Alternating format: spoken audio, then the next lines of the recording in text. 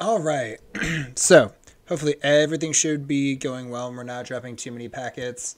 I'm actually on wireless right now and we're waiting to update, so I might have to restart Firefox, but the stream should be good. Um, yeah. So sorry if the stream's a bit choppy tonight. Um, so right now I have just moved into a new place and the new place is really nice and everything, but it doesn't have ethernet run everywhere. So that kind of sucks a lot. Um, we'll get that remedied here in the next little bit. So first things first, I'm going to discuss how Shift RMM has actually helped me at my J job, which I think is really cool. Um, I might have to lower the bitrate as well. But we'll see. We'll see how that goes. And we'll pause myself to make sure everything's going smoothly. Um, 10.0.0.8. There we go. Might be hogging all the bandwidth. Right now, um, I'm running off of a dinky little Wi-Fi dongle. So, that's not the best. But, oh well. Oh yeah, there's also a kitty. There's also a really cute kitty on my lap right now. It's one nice thing when I moved in with the lady friend is that I got a cat when I moved in. Here, let me pin down a bit. This is Juge. Juge is a good kitty. She thinks she can sit on my lap and I'll just sit there and pet her. She's right. Yeah, anyway. So let's get signed into the dashboard. Um, obviously, I can't show you this with um, work data because that's work and reveals client information and that's not good security practice. But the web board has actually helped out a ton. So we have one client that is very particular about when their website up is down. They want very specific, down to the minute information about uh, hey, our website was down for this long. What it helped was you can see the failed HTTP check right there. Um, we should be able to zoom this out a bit. Should get some failed checks. Oh, anyway, um, we do get some failed checks here, and we are able to go down here, go down, go to here, and be like, oh, so we had this failed check here. Other checks around it passed. It was down for a minute. And we were just able to grab that information just like that the second we had it or the second we knew. So it was very useful information and actually helps me out in the wild. We also had a developer that was seeing if it was our website being down that was affecting a third party API call. And that's why, because it would get triggered by uh, an external function calling it. So that external function would call the website and then it would initiate a third party vendor API call. And we've been having a bunch of weird issues where it just randomly decides to not work. So yeah, it was really nice. Within like one day of deploying it, we already had two really good use cases, and that was just for web monitoring. That wasn't even like for the server part of anything. I thought that was super cool. Um, anyway, so I haven't had a ton of time to work on this, but um, I did submit Shift RMM for the monthly time series meetup. I'd really like to present and show like, hey, InfluxDB is already easy to deploy and set up and make your own dashboards, but here's a bunch of pre-canned stuff so you don't have to do the work. Because sysadmins are lazy. We're a lazy bunch. So anything to reduce the amount of work we have to do, the better. So back to the Defender alerts. Um, it's probably going to be easier to do this in Explorer. So I'll go to an event log, Microsoft Windows. Don't care about the computer. We care about Oh, yeah, we don't have any spicy malware. Let's get some spicy malware going. Um, let me look into Proxmox really quick.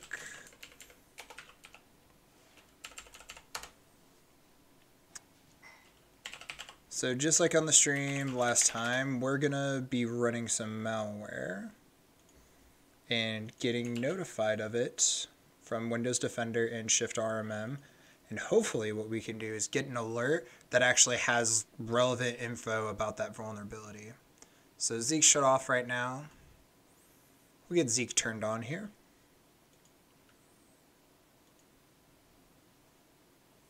Our Windows VM that just has bad things happen to it all the time. And mind you, if you are going to do stuff like this, um, make sure you have a virtual machine. Make sure it's on a VLAN that's uh, set up for guest mode. So just uh, while this is spinning up, um, I'm just going to go through how it's set up.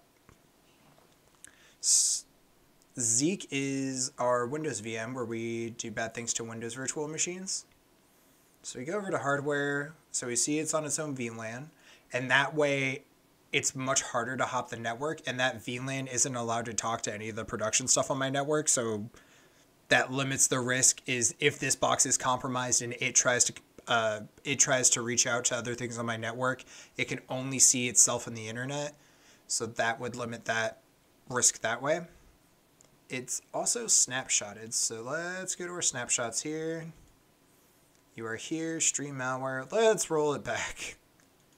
Let's go back to a simpler time, a more innocent time. So that's been rolled back, and I think we do have to reboot the VM. Maybe? Eh, perhaps. Yeah. Um, that did crash the VM. Should be fine though. There we go. So now it's going to boot up from that snapshot. And this is the clean slate. So the two big mitigations here, it's set up on its own VLAN that can only reach out to the internet and it can't reach to any of my other networks. The other one being is it's snapshotted. So, yee. All right. Next thing I'm going to do is remote into this virtual machine and see if we have to do any updates. Um, unlock the keyring.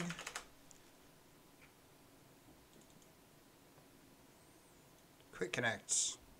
Let me go. Let me in. Network is going to be slow for a little bit. Should get it fixed sooner rather than later, though. Right, it's going to be Bucky that had a shutdown. Not a huge deal.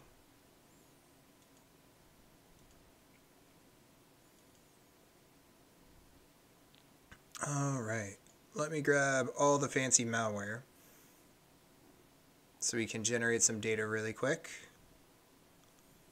Uh, malware, copy. Mind you, this is all dated and I'm running this just, you know, for help for myself. Disabled. Oh, poo. I did think I made some changes. Let me pull up Codium quick. Let's make sure there's not any updates. Yeah, there's, it's Windows, there's always updates. So let's get that installed. Data severity IDs. H. Um, let's also get tele the Telegraf config, uh, Telegraf config pulled up. Well, that update's installing. So after we get everything prepped here, we'll take another snapshot. Um, program files. That installs in Telegraf. Pull up our Telegraf comp, or yeah, just put it in the standard config. Because every machine has Defender on it, so. Just pop this open. Pop this open. Okay. So I believe these don't really show message matters, opcode text doesn't matter, time created and process name think process name just shows other stuff, but um, process name just shows that it was Defender that picked it up. It wasn't what I thought it was. It shows the process for that Windows event. It doesn't show the process from Defender. So this is a Windows event thing, not a process thing, so I can get rid of that as well. But that is where we're going to put our integer field. So let's go back while that update's installing. Perfect. So we have updates installed. We have our config change. Uh, okay. So So let's go to settings. I believe it's settings.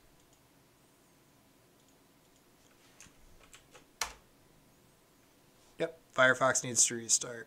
Perfect. No biggie though. We'll just pull up and start our session over. So Firefox.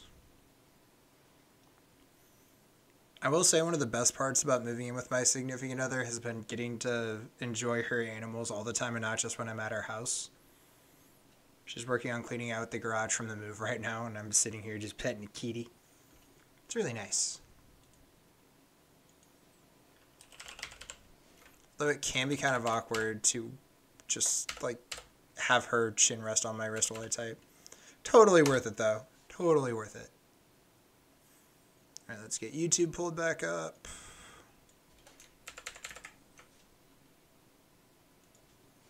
I think it wipes your session whenever you log out, but oh well. Boards. Let's go to data. Let's go to data. Oops, sources. Event log. So I believe it was a misconfiguration is why we couldn't get the info. Where we ended up last stream is I could get an alert to trigger PagerDuty or get an alert to trigger, but when I try to put in useful information, it wouldn't work. And the reason for that is the concept of tags. So when you run a query in InfluxDB,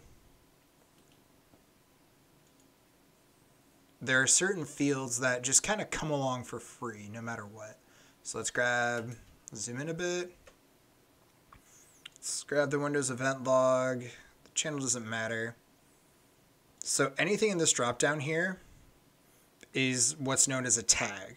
So these are much easier to query by. 1116, submit. Um, last, submit. No results in the last hour. Perfect.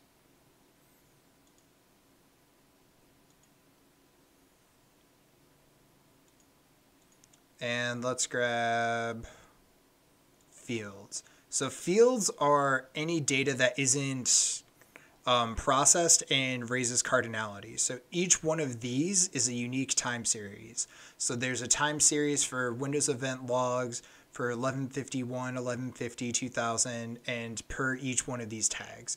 So there's a host event ID series for event ID 1150 and KCPC. And those will show up no matter what. So we'll do a table. We'll go here.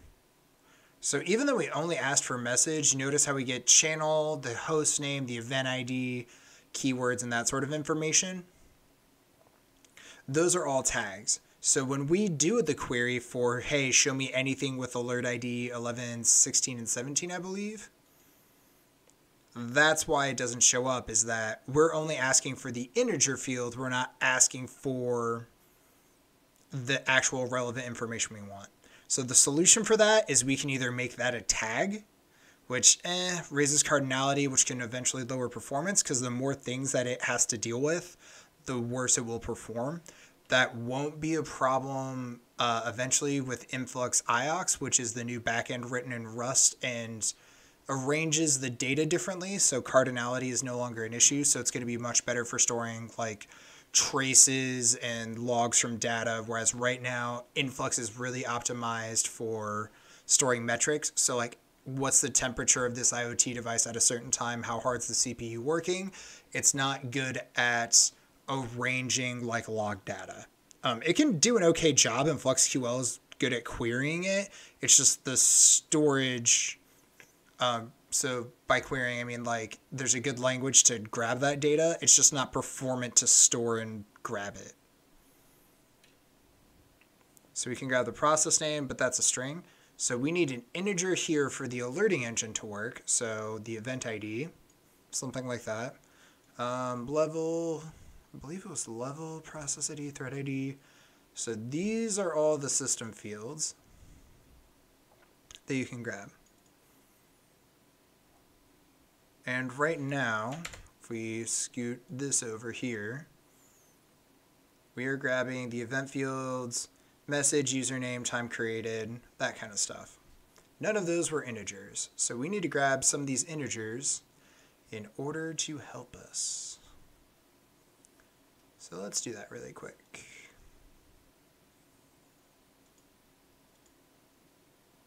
Um, come on, come on. Where's Firefox? All right. Could probably grab a uh, level. We'll grab a few of them. So let's grab level.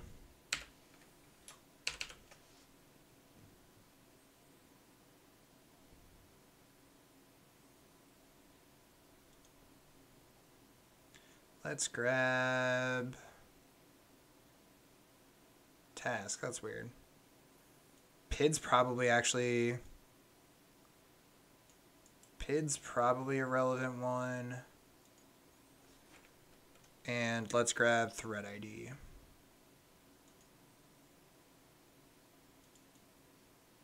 So let's grab process ID because that'll be an integer and actually something we might care about if we're looking for something like running on a system. And let's also grab thread ID, don't probably care, channel. Actually, a process name we do want.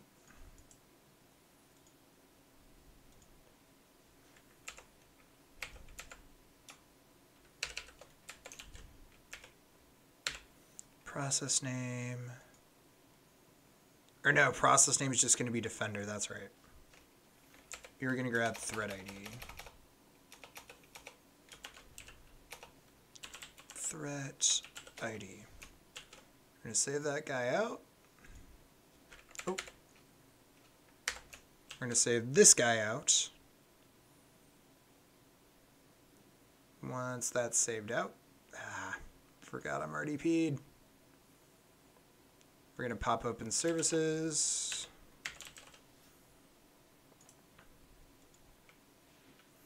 Run that as an admin so we can restart Telegraf.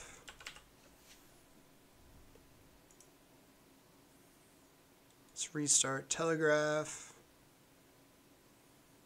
All right, so Telegraf should be running.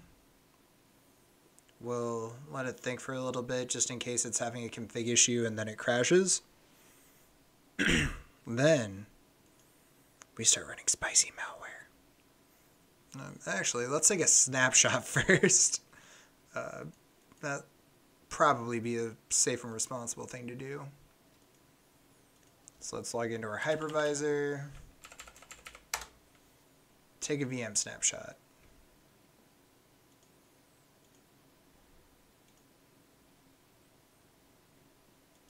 That way we don't have to rerun that Windows update. So let's take a snapshot.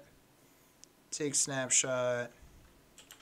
Stream three, four, three, four, two, one. Don't care about RAM. Take my snapshot.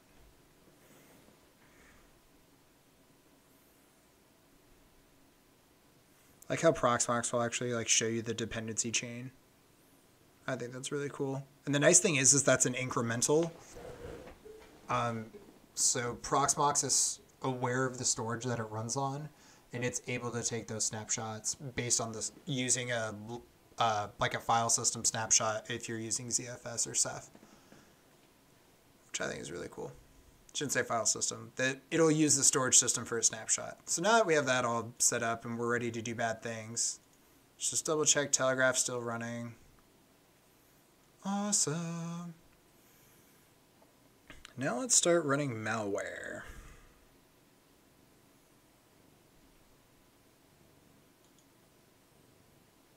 And mind you, this is default Defender. If you are using Defender in production, um, make sure you're tuning it with group policy or something like that.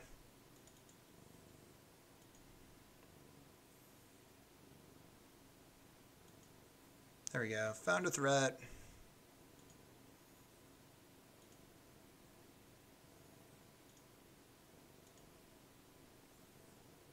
Um, what were some of the ones that were really good to run? Was it Darby?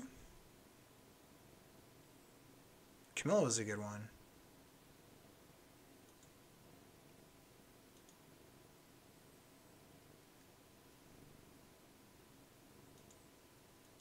So let's run Camilla.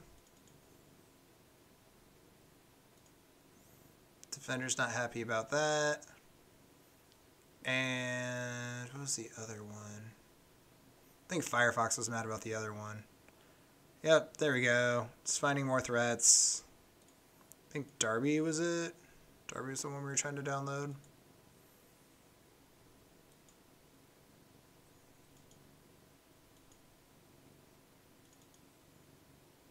Perfect.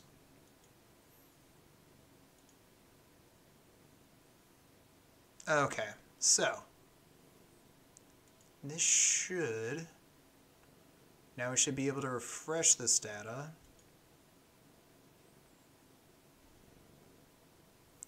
Windows, and we should get some different event IDs now. Don't necessarily care about the channel. We do care about event IDs. Yeah, the spicy ones. I think these are the spicy ones. Fields. Data thread ID. So data thread ID shows up as a string.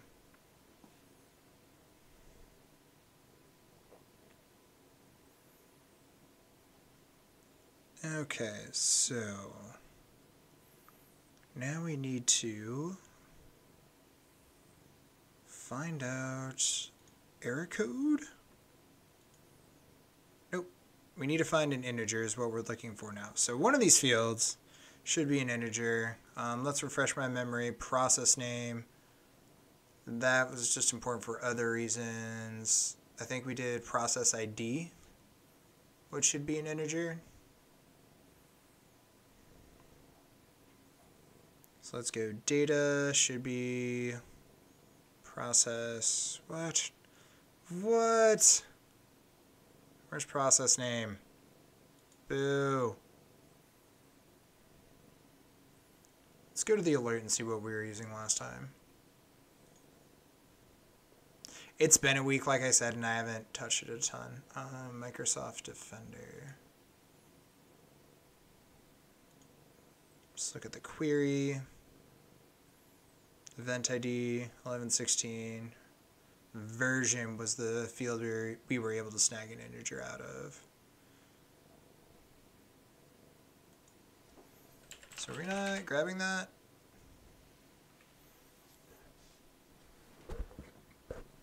Excuse me.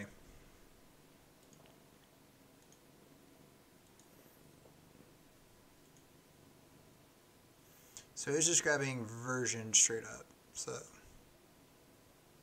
Crap. That's all I gotta say is crap.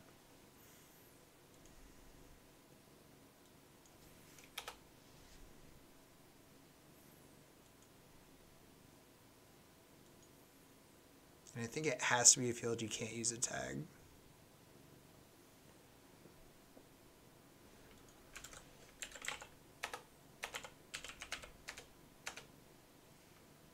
Yep, so let's grab version. Let's see what we get out of that. Could also probably use event ID and then just be like, hey, if it's in this range, it's probably something sketchy we should be worried about, but let's try version. Let's go back into Quick Connect, go back. SPC, C, program files. Uh, where are you? Telegraf. Don't rename. Please don't rename. That's the error log. We don't necessarily care about that. Um, let's go with the Notepad. Let's add version to the mix.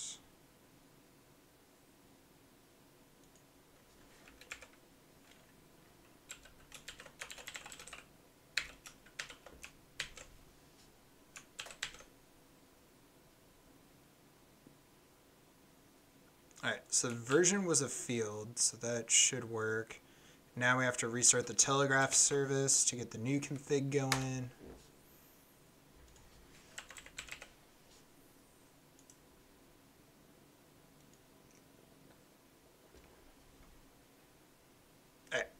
Now we wait. We wait and look at the kitty, and then we run more malware. Isn't that right? Run malware, evil kitty.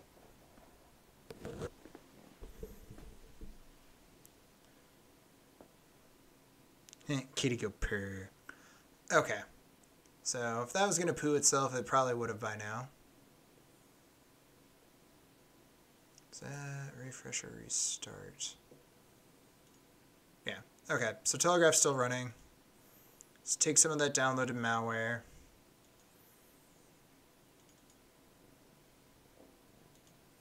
Make some noise in the logs.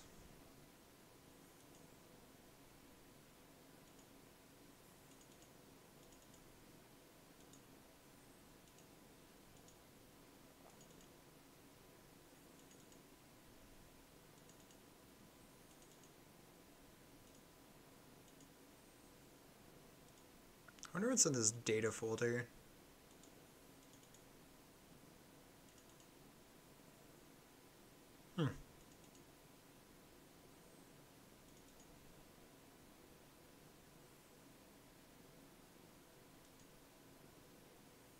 All right. Anyway, let's go back into our InfluxDB dashboard. Go back to the Data Explorer and let's refresh it and see what we get. It's nice that data shows up really frequently. Or it, it refreshes pretty quickly. Windows event log. Snag these event IDs. Let's look at the field, see if we can get version. There we go. All right, so now let's look at this in a table and hopefully this will make sense. So when we alert, this is essentially the query we're running, except now we get the table visualization, thankfully, instead of the graph one. So this is the information of what we see. So this is what we can shove into an alert. So this isn't very useful, right? We would much rather put, oh, where's the message? Excuse me. We'd want to put like the threat name, because that'd be cool. So now we need to go back in here and see if we can tag certain things ourselves or if there's certain things that we can do to deal with this. Um, you can send any field system, blah, blah, blah, blah, blah, with event tags. You can also do globbing. By default, all other fields are sent, but you can limit by using event fields configure or with globbing.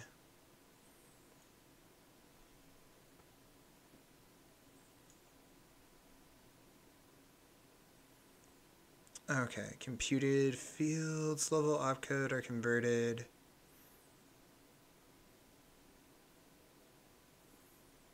So it doesn't look like we're allowed to create our own tags.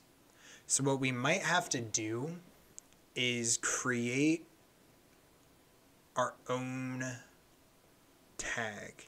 Or we might have to use one of the processors to convert something into a tag. So now we're going to go to the Telegraf documentation. Line 1, documentation. and guides, introductions, Telegraf plugins. So I believe we want a processor. Converter is used to change the type of tag field or array values in addition to changing. This one just might be useful for later. Date, dedupe, defaults, enumerate, execd, file path, network interface, override. Pivot's a cool thing. Pivot will take what would be multiple series and then use a shared value. So, like the time it was submitted, and then turn each of those series into columns in one series, which is nice. Strings, tag limit, template, top K, unpivot. That one's interesting. I get interesting the fact that I can't think what you would want to do. Um, the table key determines the target type the array.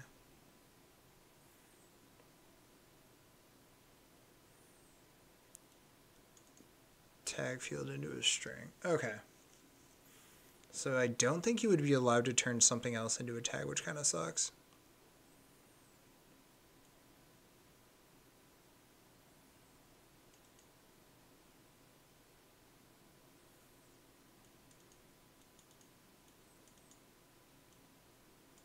So that's not what we want. We don't want unpivot. We don't want tag limit.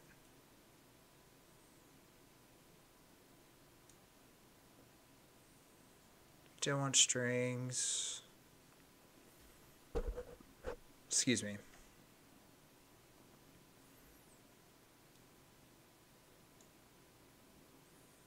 Would rename be it? Oh, dude, that's cool.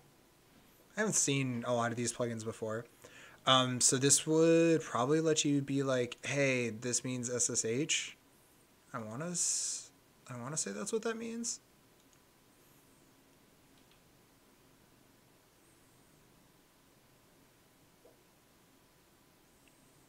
So it would take port 80 and then add port 80 service HTTP. This will be a surprise tool that'll help us later for like some of the pfSense stuff. I think that could be useful. Is enriching like some of the firewall blocks once that data starts getting in there. Be like, hey, this is HTTP, so that way if you're you know like a junior network engineer or something like that. Um, yeah, cool discovery. That's kind of part of the fun part about this. Is that it lets you discover more of what InfluxDB and Telegraf have to offer. You just kind of find fun stuff.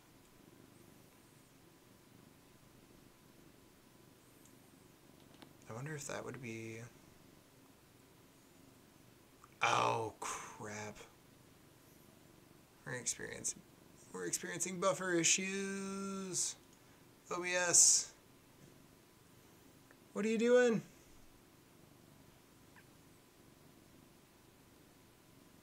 Okay, looks like OBS is figuring its life out. I'll scroll very slowly. File path. The heck is that?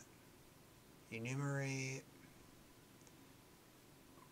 Defaults.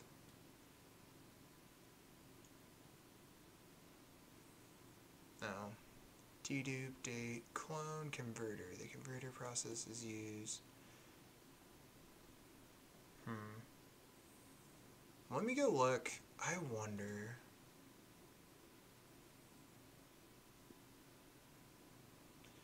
Merge override data format influx. Oh, so this will parse data. So that's not what we want. We want inputs, control F, defender. Or event. Windows event logs. So let's just search for tag.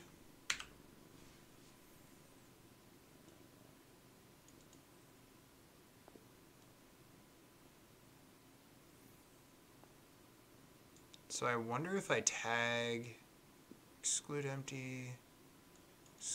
Um, it's gonna tag see if there's anything that would like give me any hints as to what I can do with the tags. You can send any field system as tag fields. And the event tags configure it. Okay, cool, cool, cool, cool. So we can use event tags.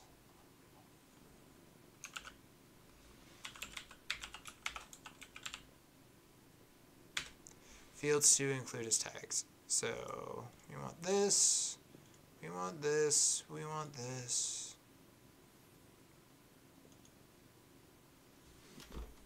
And now what we want to do is event underscore tags.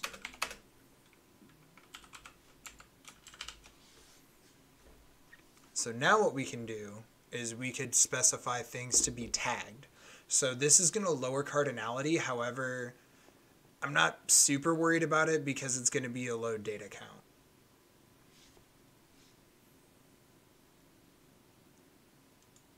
So there we go. Um, I'm going to copy this off really quick into a, just a template file, just in case I like restore the snapshot, I don't forget anything. Let's pull that up, go back in here, go back in here. So now we have to figure out what field we want to tag. It looks like it's going to be threat name is going to be the uh, thing we want to grab as a tag. So let's make sure, A, that we're still grabbing that information. Um, threat, data threat name, hooray. Can't aggregate strings, we can grab last.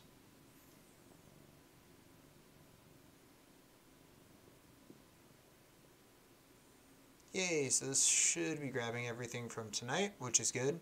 Uh, sorry about the buffering, guys. I'm sorry about buffering.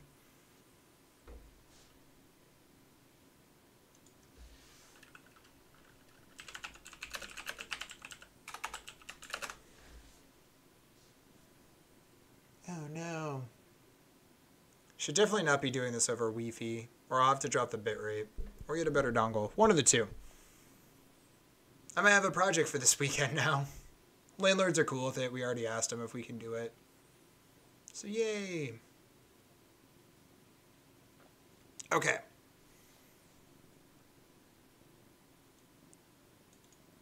So we have this value. We want it to be threat name.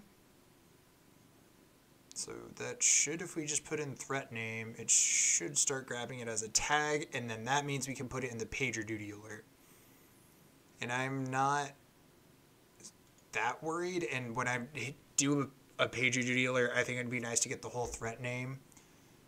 So if we drop to the script editor here,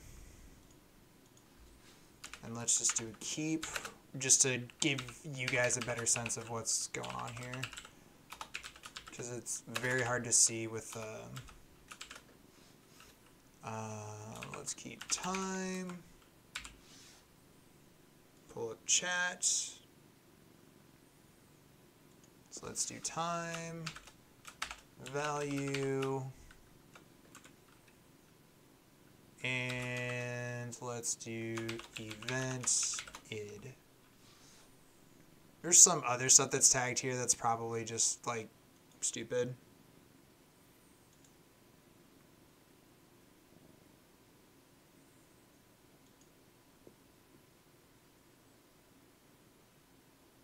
So now you can see we get this is what would be indexed. So each instance of so each instance of this would create another series, but I'm not super worried because usually there's not a ton of malware going on. And if you do have a ton of malware happening on your network, the least of your problems is your monitoring system queries being a little slow that day. So we'll try that strategy. So there we go in here. We want threat.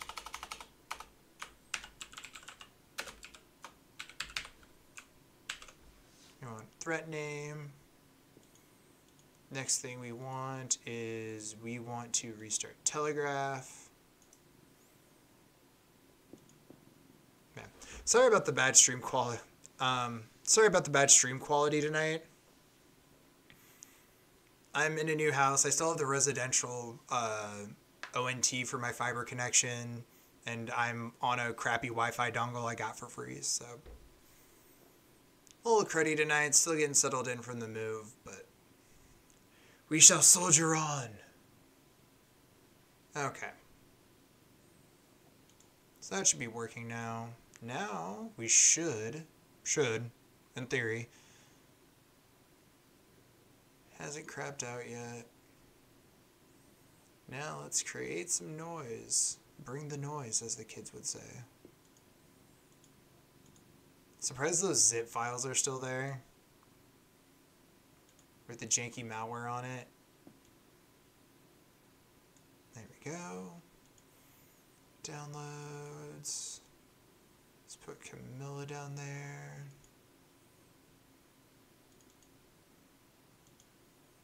Yeah, it's not happy about this. Let's run Gedzik.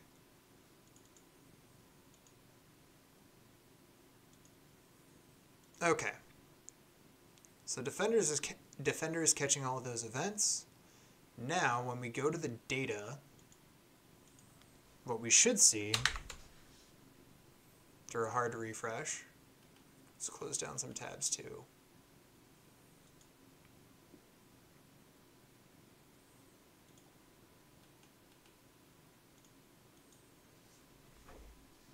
Yeah, that poor thing is sweet though. I'm very excited to play with that. I might have to spin up a pfSense box just because I already have ways of logging that. So let's go to Windows. Let's go to event log. Now what we should see. Yeah, that's not good. That's no good. That is definitely no good. We're not seeing the threat name here, which is bad.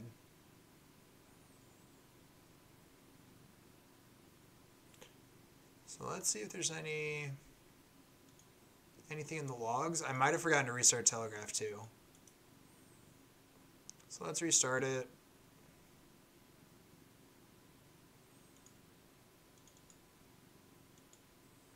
Run.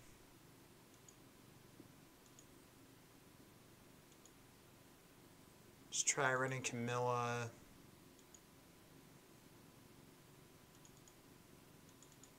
Let's try running Camilla from the zip.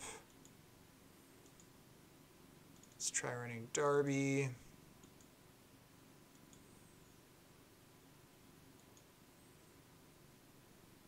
And now let's try to pull up the log to see if, oh, so that has been updated.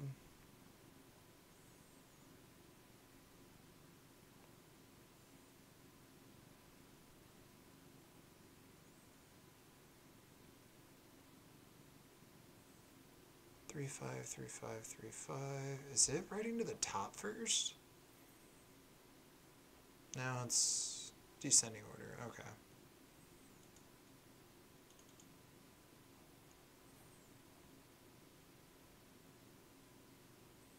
So there's a whole bunch of errors.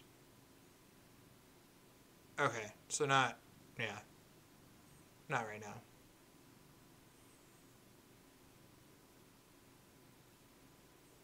Doesn't look like there's anything weird going on. So maybe this tags will load. This isn't the case, I do have to uh, leave here pretty soon. But it was definitely nice streaming. Feels nice to stream in the new office. Definitely like my new office a lot better. He's has a kitty in it.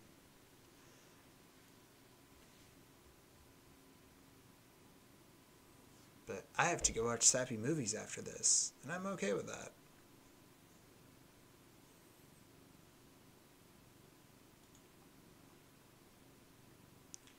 Uh, Windows event log, events, that one, that one. Oh crap. Alright. I think what might be happening is that it hasn't had time to like rebuild the indexes or something weird like that. I don't know.